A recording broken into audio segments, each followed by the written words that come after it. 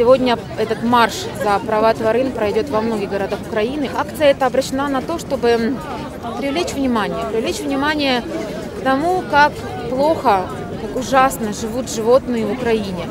Речь идет не только о бездомных собаках и кошках, речь идет о перетравочных станциях, о зверофермах, о, о фермах, где животные, которые готовят на убой, живут в жутких условиях.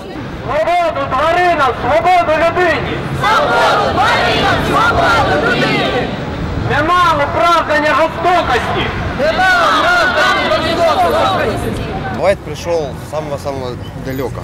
Он с Луганской области приехал из зоны АТО сюда. Року тому я привіз список е, кота і ось е, у листопаді минулого року, рік тому привіз його. Клас. Вайт щось скаже? Вайт, та ну, ну він мовчазний зазвичай, якщо, якщо кота немає. Наша ценность сегодня объединится. Те общества защиты животных, которые, э, в общем-то, находятся в городе, каждый занимается и приютами, занимается и, собственно, как бы передержками, и волонтерскими акциями по пристройству. А Вот сегодня могут объединиться в свои усилия, чтобы добиться, чтобы действовали законы.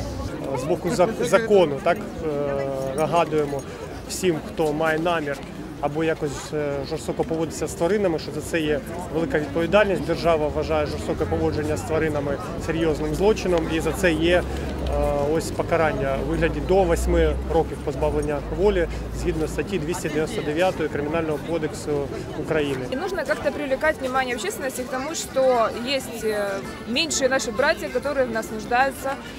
Э, Вот, э, это касается не только бездомных животных, это касается и употребления излишнего мяса, это касается меха. Я хотел собачку, очень давно хотел. Ну, нам подарили дочке, короче, на день рождения. И вот сильно я так об- обожаю ее. И я хочу, чтобы собак любили, кошек, собак, ну, всяких животных. Собака как, ну, как, как друг человека.